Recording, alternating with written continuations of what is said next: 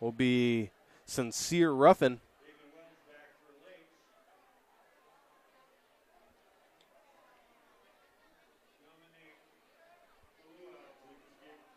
Kick is brought in.